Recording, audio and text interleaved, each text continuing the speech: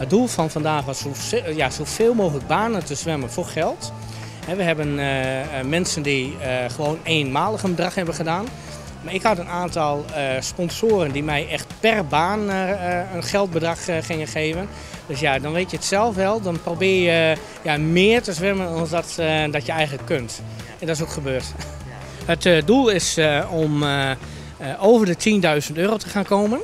De reden daarvan is dat de weg naar Berlijn gewoon heel veel geld kost. het is niet zomaar iets dat je naar de World Games in Berlijn mag. Het grootste, ja, de grootste zwemtoernooi van de wereld.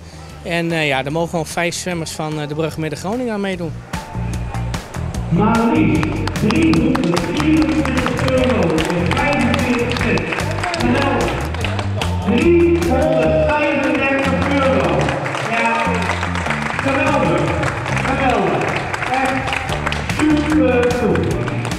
969 euro. Grandioos. Echt perfect. Ja, jullie gaan dan nu een berekening maken van wat het uh, totaalbedrag is. Wat uh, verwacht je zelf dat het is? Ja, ik durf geen... Na, na, het onthullen van alle checks durf ik niet meer te zeggen hoeveel geld er nu binnen is. Maar als we naar onze rechterkant kijken, um, ja, daar liggen uh, vuilniszakken vol met allemaal flessen. Want dat deden we ook nog, flesseninzameling.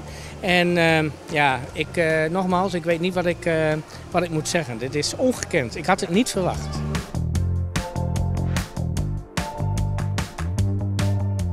Ben je dan daarom ook extra trots op ze? Dat was ik al.